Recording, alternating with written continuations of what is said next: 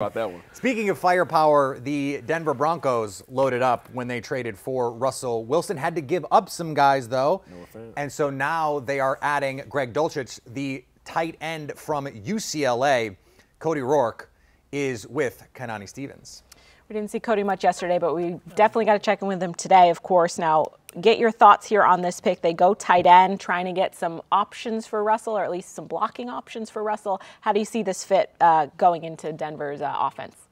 Well, you know, for Denver, them moving back with Houston kind of makes me feel like, okay, maybe they had Jelani Woods on their target system here, but Greg Dulcich is a good addition for them. Mm-hmm. Obviously, in this tight end room, kind of wide open right now. Albert Okwuegbunam, who was obviously drafted in round four just a couple of years ago, is presumed to be the number one guy, but I imagine it will be open at this point. I think that when the Broncos go in a two tight end set here with Russell Wilson under Nathaniel Hackett's offensive scheme that loves tight ends, by the way, I think you'll see Dulcich used a lot in the red zone here for the Broncos, or if they need to move the chains a little bit.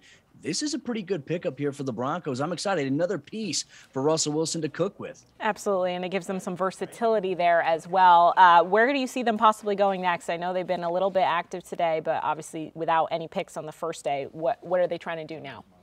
Well, you know, at this point as well, I, I, wonder if Denver will look at the interior of the offensive line, you know, especially with Dalton Risner for him entering a very crucial year at the left guard position, mm-hmm. has had back to back kind of down seasons in his standard, and they're hoping that he can make the jump this upcoming season. But they could be looking to the future as they look for a guard to put right next to Garrett Bolles potentially. If not, I would keep an eye on the cornerback position here for the Broncos, looking to add depth there alongside Ronald Darby, Patrick Surtain II, and K'Waun Williams, who came over. Croc knows a little bit about K'Waun Williams, so we'll get a little bit more insight from him as well on that.